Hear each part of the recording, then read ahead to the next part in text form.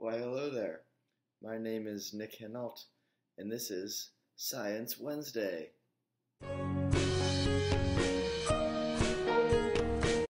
We got a really fun lesson planned for today.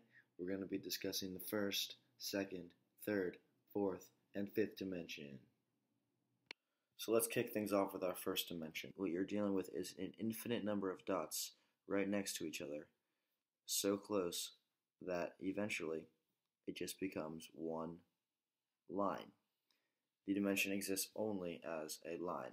And just as the first dimension was made out of an infinite number of dots to create a line, if we have a line and draw an infinite number of lines side by side, eventually what would occur would that they would all come together and create essentially a box shape. When trying to understand the third dimension, it's easiest if we start with the second dimension, which is a simple box, and then draw a infinite number of boxes coming off of that box. Together,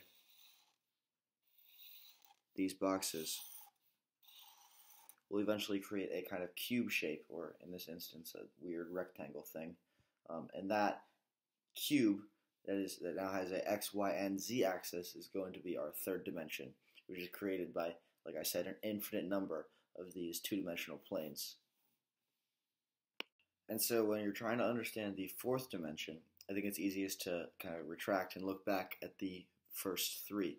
So um, we see that when going from the first dimension to the second dimension, what we're really getting is we're getting a change. So we're able to see from the first, we're, from the first we just have a single line, and when we enter the second, we're able to change to another line. And, um, and so we kind of develop this sense of change from the first to the second. And in the same sense, from the second to the third, while the second is just one constant plane, xy plane, um, the third allows us to change between a series of planes. In that same aspect, the third to the fourth dimension, the third dimension is one finite 3D model.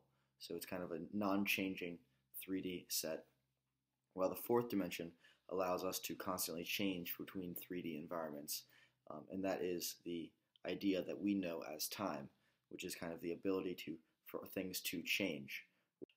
The fifth dimension is not something that we as humans exist in, but it's still important that we attempt to understand how it works.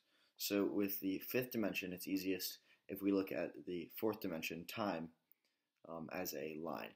So the way that we see the world we exist kind of time is linear and we're just moving through time. Once you, that is the fourth dimension, this linear time. Once you enter the fifth dimension, time is no longer a linear thing, um, but instead you can see it all as a plane.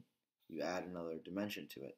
And so then time does not appear to be moving in one direction, but instead you can see all of it at once. Well, thanks for watching my very crude explanation of the first five dimensions.